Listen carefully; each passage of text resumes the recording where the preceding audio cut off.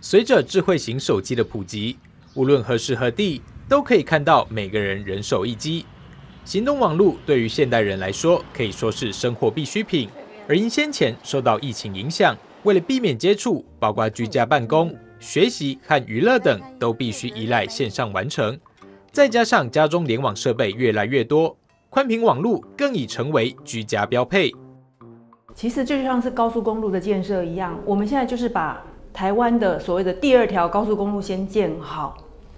当这个平宽已经具备了，高速公路已经具备之后，事实上它的应用就会接连的来。等到呃技术、市场、消费者一旦成熟之后，它就是有一个爆发性的成长。那如果到那时候再建高速公路就来不及了，所以我们是先把呃所谓的台湾的第二条高速公路，呃资讯宽频高速公路先建好之后，那这样的服务其实是很可以期待的。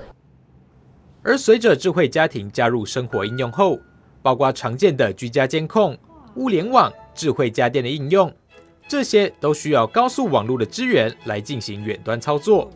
不仅如此，就连现在乐听众在家中收看的联网电视、OTT 串流平台，都是必须靠高速网络才能达到最佳影音品质。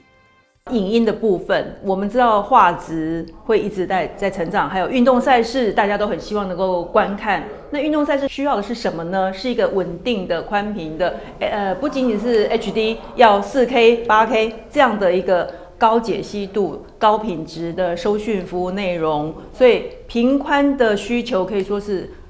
没有止境的。在智慧家庭的时代，许多智慧联网设备都需要家中稳定的 WiFi 环境，才能在良好的讯号中发挥智慧家电的功能。